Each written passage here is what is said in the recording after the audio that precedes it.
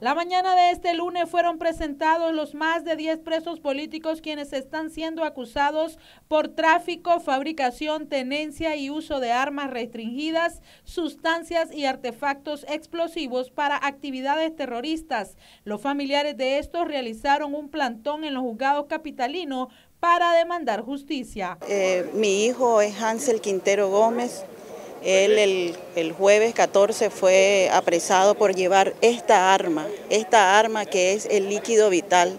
Lo que quiere este gobierno es matarnos. Es decir, esto es por lo que están acusando a nuestros hijos. Nosotros lo único que estamos pidiendo es justicia y les decimos que vamos a llegar hasta el final. Nuestros hijos son inocentes, nuestros hijos no son delincuentes, la solidaridad no es un delito en este país, son valores que nosotros le dimos a nuestra familia.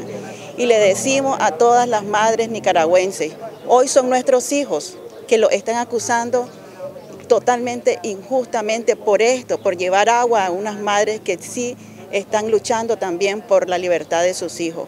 Nicaragua tiene que ser liberada por todo.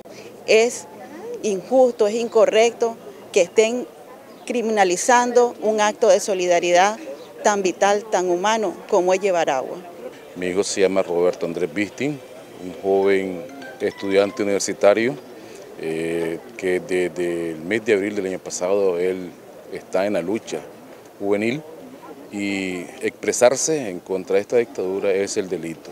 Máxime lo que ocurrió, el gesto solidario que tuvieron estos jóvenes con las madres que están en huelga de hambre en Masaya, ese fue el otro delito el cual hasta el momento de hoy está perjudicando. Yo creo que hay un pasaje en la Biblia que dice darle de, beber al sediento. Hoy en día hacemos uso de ese versículo de la Biblia porque la solidaridad de estos jóvenes con estas madres ah, fue la causa para que ellos estén detenidos injustamente.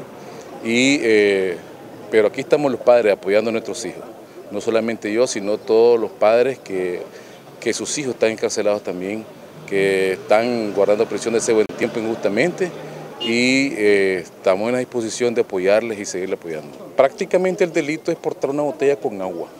Este es el delito de hoy, portar una botella con agua. Y, este, y esta va a ser nuestra lucha. Como ya lo hemos expresado, portemos una botella de agua porque este es nuestro fusil, nuestra arma de hoy para adelante. ¿Qué información tienen de Hasta el momento eh, no tenemos ningún tipo de información, desde que fueron apresados no lo hemos podido ver. Mi sobrina es Olama Hurtado y está ilegalmente detenida desde el jueves en la medianoche y estamos aquí viendo qué es lo que van a acusarlos, porque en realidad lo que hicieron es llevar agua a las madres de Masaya y este es el crimen que ellos cometieron, ser humanitario. Y bueno, inmediatamente que sepamos cuáles son los cargos ridículos que les van a hacer, eh, definitivamente hacer una denuncia internacional, la cual ya se está haciendo. La detención de los jóvenes fue mientras llevaban agua potable a las madres, quienes se encuentran en huelga de hambre en la iglesia San Miguel de Masaya. Para Noticias 12, Castalia Zapata.